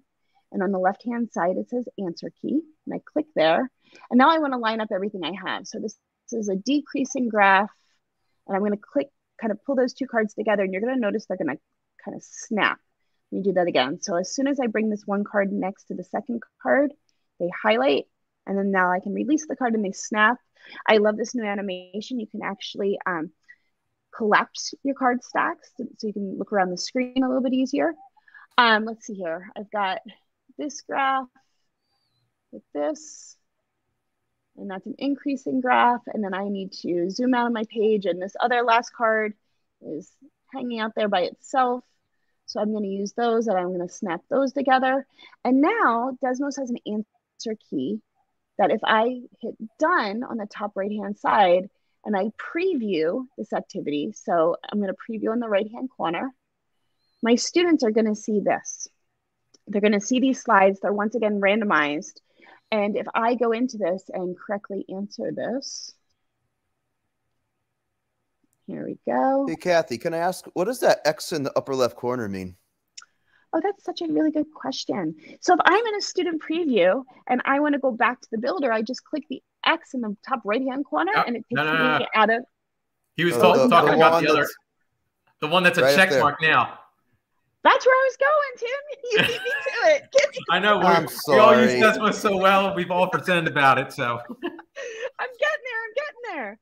Uh, once I stack my cards, uh, if I click the top of this, it will tell me whether or not I'm correct or not, which I really appreciate.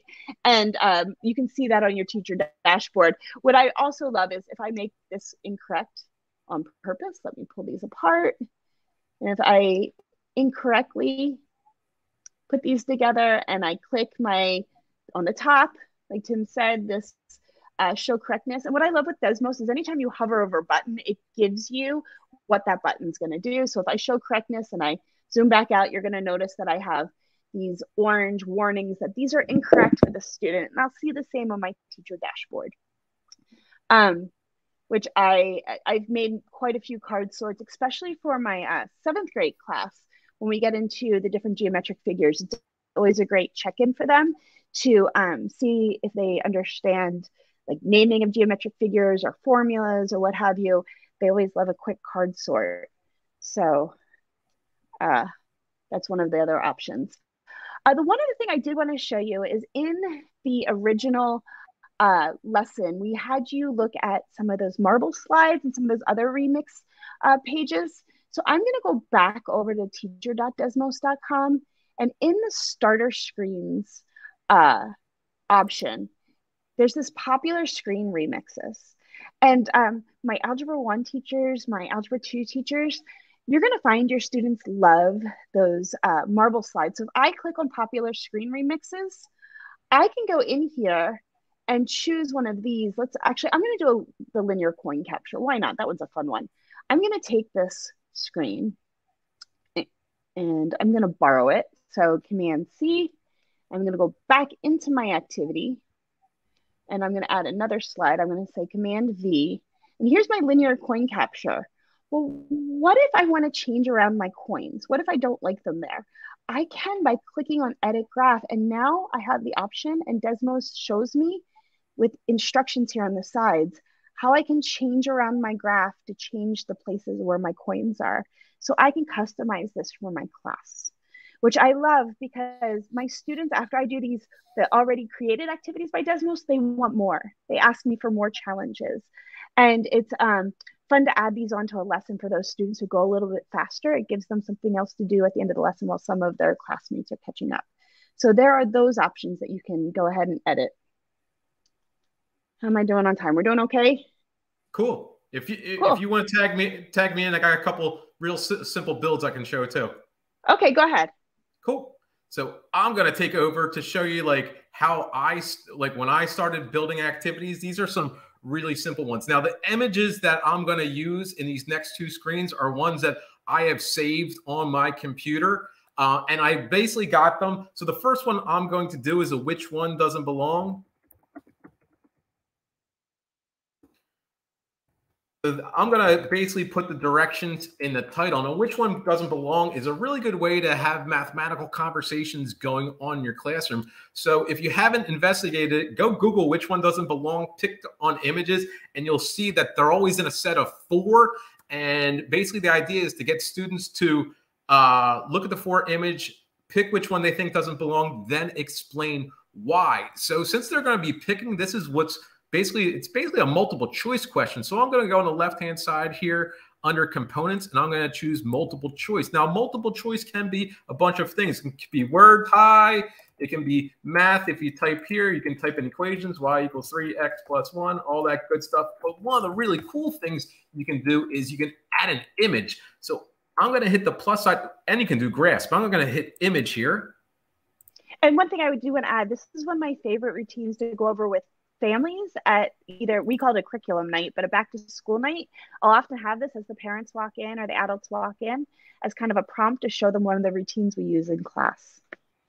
All right, and you can see that I these are on my desktop because I do a lot of presentations. So here are the four images. So there's the first one, and it's going to upload that, and I go to then add another image, and I'll pick which one doesn't belong to, and a third image, and I do which one doesn't belong three, and a, another image, which is which one doesn't belong for. So once again, I got these four images by going to Google, typed which one doesn't belong, and I'm a big fan of a snipping tool. I snip these four images from that.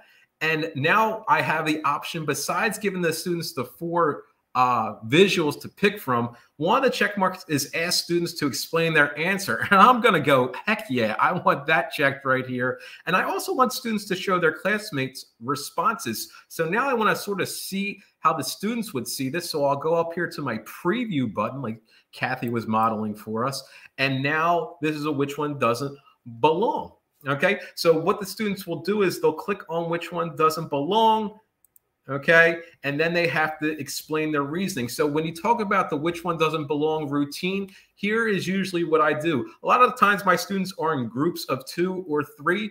So the first thing I do is tell students, and I might even uh, have this projected on my board and pause for a second is think for a minute. I don't let them instantaneously react. Think for a minute about which one of these doesn't belong I'll unpause after they thought for a minute, have them click and respond. The next thing I do is say, hey, now have a conversation with the person sitting next to you about which one you chose and why. And hopefully they didn't. The next thing I do is say, hey, I'll pause it. We'll bring it back to a class activity. And I'll say, here's what I need now is I need a volunteer to explain why each one of these in a way does not belong. And that's a really cool way to do a which one doesn't belong routine. The build is super easy.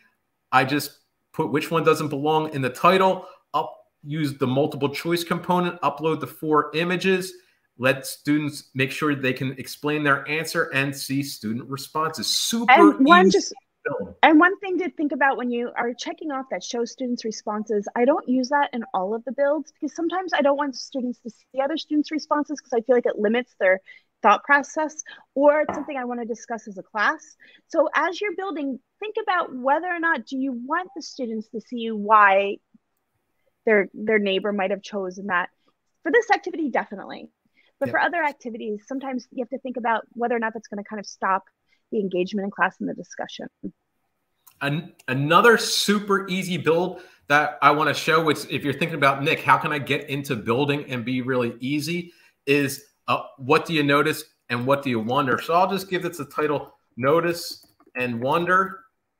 Okay, and what I want to do is I want to give students uh, a visual prompt, and I'm going to ask them, hey, what do you notice? What do you wonder? So I need to have the visual prompt, and mm, I know this has ge- a geometry aspect to it, and I sort of want them, if they want to, to sketch on this. So I'm actually going to pick the sketch component, and we the options we have is for a blank background, uh, the editable graph, or a custom in image. Yes, I like custom image, and I had this notice and wonder ready to go there.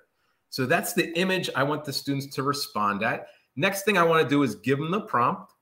So you, when you want to give the typing that the students see. That's a note. And I would say something like observe the pick to the left. What do you notice? What do you wonder? One more thing now.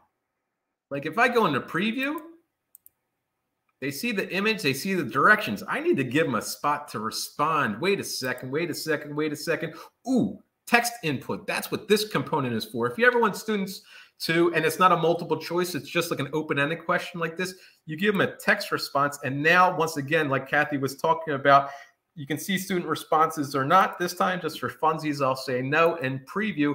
And this is basically a super easy build is you give students a picture to notice and wonder about, um, give them their little directions and just give them a spot to respond. Just something to point out um, when students are responding in this a textbook, there's a couple options. Um, students can type mathy in this. Always look for that square root symbol as a way of bringing in math type and like Kathy modeled before, there's cool fractions and stuff like that. Oh, and can I just put one thing out? that other one, that other option there, that image, does ah. give students the options of uploading pictures or uploading work. So over the past couple years, sometimes I'd have students who might be at home and they want to join in on the lesson. So they're able to upload their work. They could take a picture of, say, it was a problem where they had to show multiple steps. They could take a picture of it on their computer and then upload it into an input here. And then you can see all of their work, which is really, um, it allowed some of my students to still feel connected, even though they were at home at the time. So I really appreciated Desmos's option for that.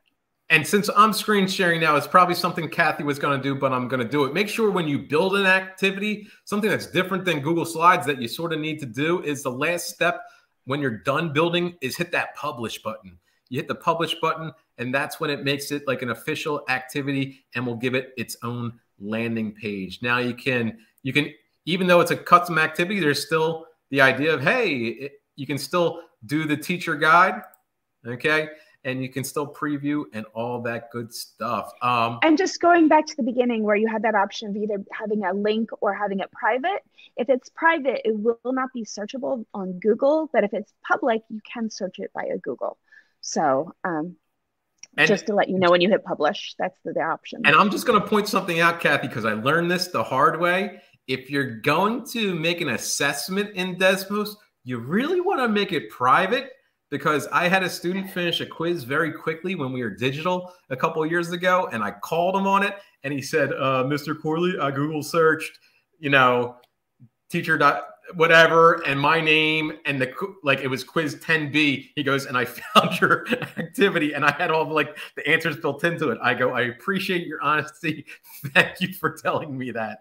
So well, and also really? if it's copyrighted material, I mean, if you're using a textbook and you're using parts of that textbook, it should be a private link. Please don't publish it because of copyright issues. Um, but then if you have an activity that you've created that you really want to share, make it public that ha- if it doesn't have anything with that's copyrighted. And it's great when you hear back from folks um, that they've used your activities in class. Uh, here's a question. How many activities say 30 to 45 minutes, like a whole class? So I guess I can just pull out certain slides to show there are quicker activities. So here's the thing, and this is what I love about Desmos. Some of these lessons will take a full class, some won't.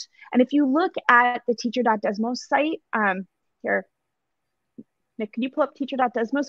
When you're looking at the activities, it will tell you how long. If it's going to take two days, it is a-okay to pause that class and go back into it on the second day. You don't need to create a second activity just pause it.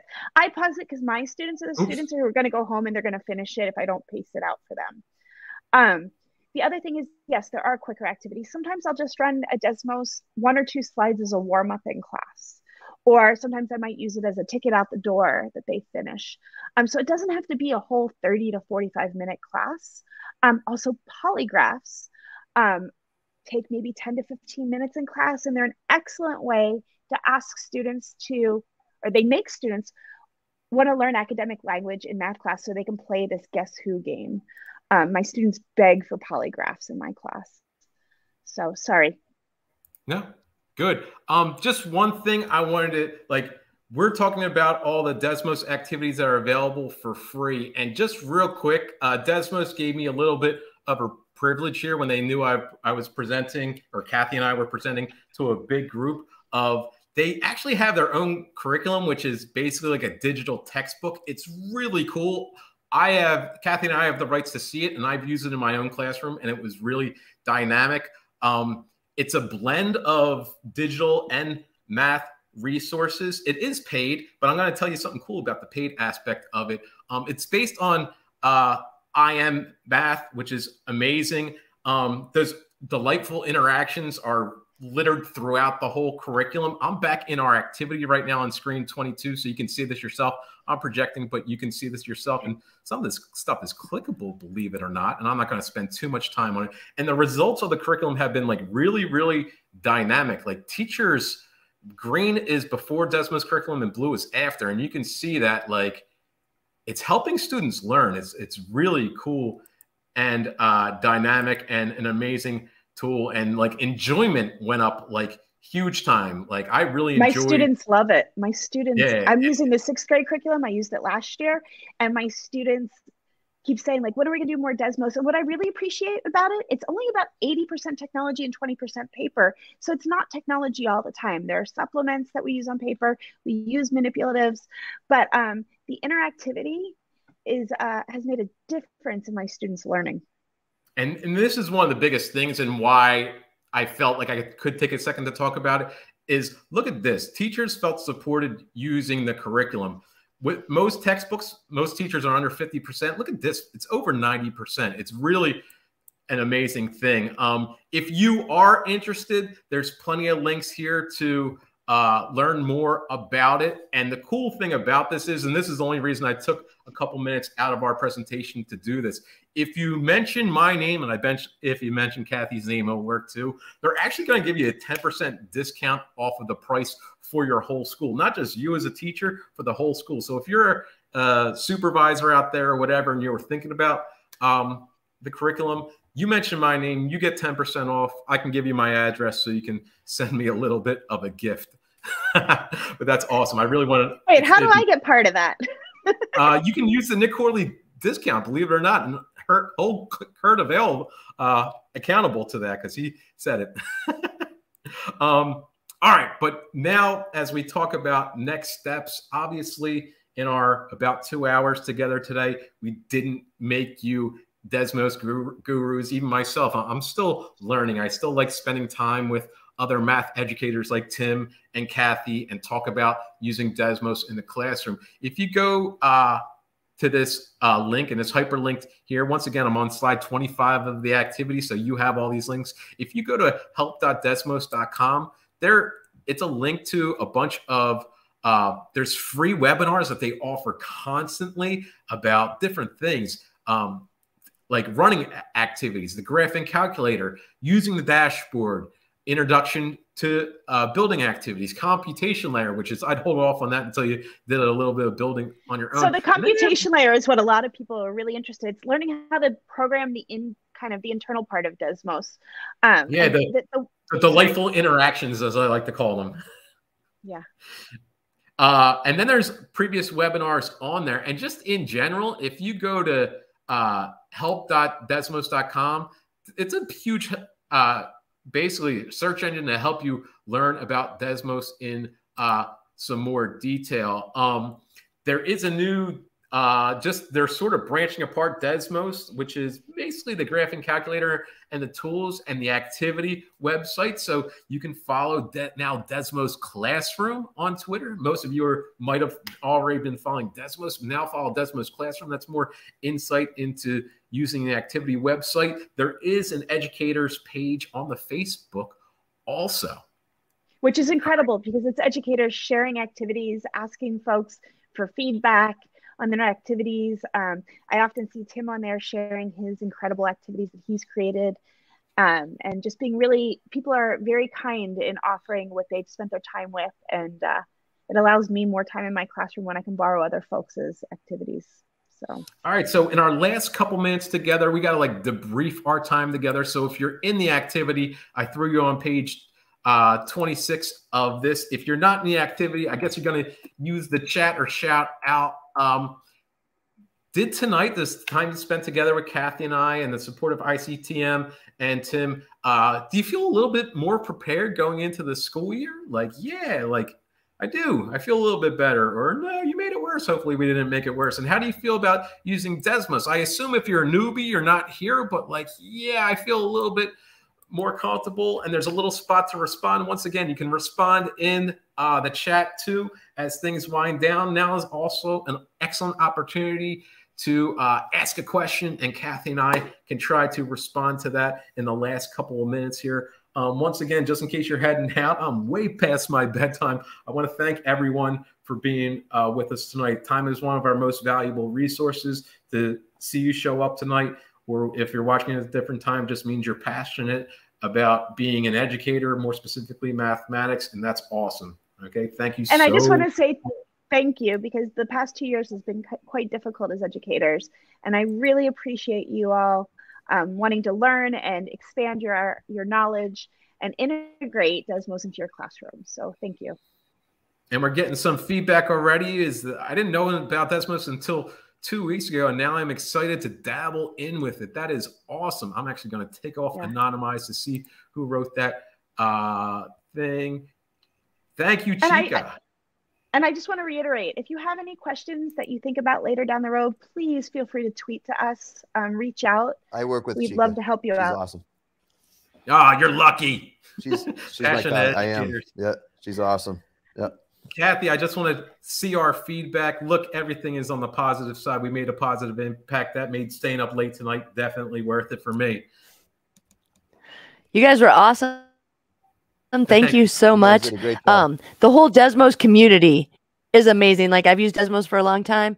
I had a, a student, oh, I think it's been it was pre-pandemic, so whenever that was, uh, she was an eighth grader who came up to the high school to take geometry and we were doing trig and she was like, So how come if I do this on my calculator, like the cosine of 0.1 or something, I get one answer, but Desmos gives me a different answer and GeoGebra gives me a little bit different answer. And I was like, I don't know. And she's like, How does the cat like how does Desmos calculate it? And I was like, I don't know, but I do know this. I've been at things where Eli was talking and he's always like, just tweet me. And so I like at Eli and then uh asked the question and Eli like emailed me because he had my email address and he emailed me a whole bunch of information. I shared it with the student. Like, so I know everyone in the Desmos community, super awesome at sharing, and you guys were fantastic, super supportive.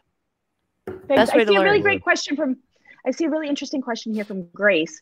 Um, Grace, when you pull up the Desmos activities, if you go into student preview, um, you can. Do you want me to put or? I don't know. If, there you go. If you go into student preview or into any of the slides, if there is a numerical solution or one correct solution, it will show up along the bottom as a sample response. Um, it also shows up in the teacher guide if you look at each slide separately. Um, if there is a solution that has multiple responses, sometimes they'll give you a couple possible responses that students may give you. So it won't So be labeled as answers, it will be labeled as like sample response. So the, I'm in that pool borders problem. I'm on the main landing page and I click on student preview, which is how you should preview the activity. And the pages where there is a numeric answer, the bottom tabs, teacher move and sample responses, it's in the sample responses. And it's also, once again, just to see it, once you're running the activity, if I hop back way to the beginning where we did this, this is when I'm actually like in the teacher dashboard deep into the activity. I can still see under sample responses those answers. So Desmos has you covered on multiple layers of uh, if there is a definite answer where it's there. Once again, that's for all the activities that Desmos has created. If you create your own activity, that's where in designing the screen, uh, if there's an answer, you probably like uh, Kathy modeled, you want to drop it in there yourself just as a reminder for when you use it. And that way it will also show up in your teacher guide and you don't have to go back and resolve all the problems yourself. It's all there for you. You do need an account for the teacher dashboard. So go ahead and sign up with your school account. Um, and uh, once you sign up, you'll have access to all the previous or all the, the Desmos created activities. Cool. Okay. And looks like that that's a wrap. Cool. Yeah. So uh awesome. thank you. Uh, yeah, we want to thank thank you so much, Kathy and Nick. You two did an awesome, fantastic job, and uh, thank you also to the Iowa Council of Teachers of Mathematics Thanks, for Deirdre. sponsoring all of these. Thank you. Webinars. Yes, thank you. Thank you so Thank much very for much. ho- for joining us tonight. Uh, all the you're going to make a playlist, right, Tim? You said for ICTM to drop on our website, Oh, yeah. iowamath.org. And you can look at any of you guys' YouTube channels, your Twitter feeds, your Facebook, the Desmos community for this broadcast, Tim Brzezinski's Facebook. It's everywhere. That's awesome. Well, no, yeah. So thank you so much. I mean, like, um, like I said, our our hearts just to help you empower you as teachers to empower your students to uh, love math and love learning math. So, um, if you have uh, like, you can find Nick and Kathy on Twitter. Uh, we are we are all on Twitter, and Twitter is a great place for teachers to learn and grow. I know when I go on Twitter for a couple minutes a day, I'll see stuff. Ooh, I could I, I see an idea for doing this like later on in the year. I see this and that. I scroll through Twitter. I think everyone on this broadcast here could say they scroll through Twitter for a couple minutes a day. You pick and you learn up so much, so much more in two minutes than you would having your district pay for you to go to a huge conference, which you go to a few workshops. You may end up using less than 10% of what you actually learned at that conference. You know what I mean? Can I say that So it's Twitter has made me a better teacher? Can I can I say that? Like Twitter I'm has made me yes. a better teacher. They I'm in the make me look boat. like a rock star. Best professional development out there for math teachers. Totally, totally. So hopefully the ICTM we could do something like this again, maybe mid-year. We'll see what's going on, but we're all busy and stressed with starting school now. So um, thank you all for joining. Thank you again, and uh, we hope you have a great evening, great morning wherever you are, and we wish you and your students much success this year. And um, yeah, so long. Have a great Have year. night, y'all. Thank you, Tim. Thanks, Thanks, Kathy. Thanks, Nick. Thank you.